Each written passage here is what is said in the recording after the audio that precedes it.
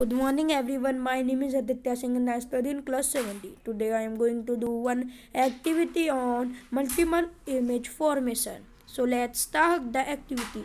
The material required is one sheet, pencil, protractor, any tape and two piece of mirror.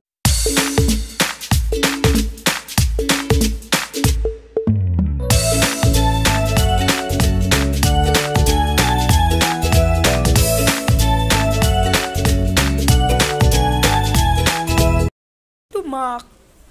A dot on a paper and put the protractor on it. Make 90 degree angle and make a line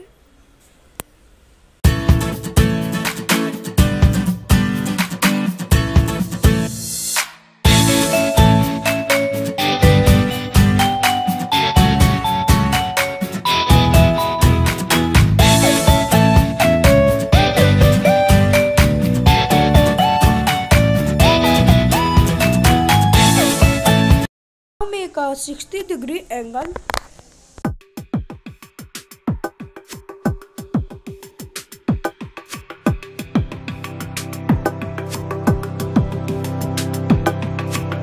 Now we have to join this both mirror with the help of the tape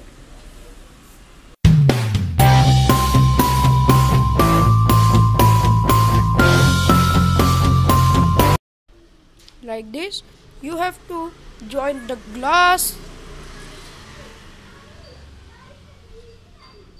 after joining it cut the extra tape. Like this you have to join to your mirror and cut the extra tape and put it on 90 degree angle.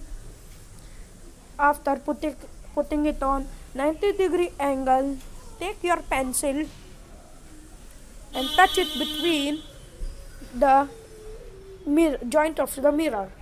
You can see the three image formation here. We have to put our mirror on 60 degree angle. After putting it on 60 degree angle, you have to take your pencil and touch it between the mirror. After touching your pencil between the mirror, you can see there were five image formation. And at different angle there were different number of image formation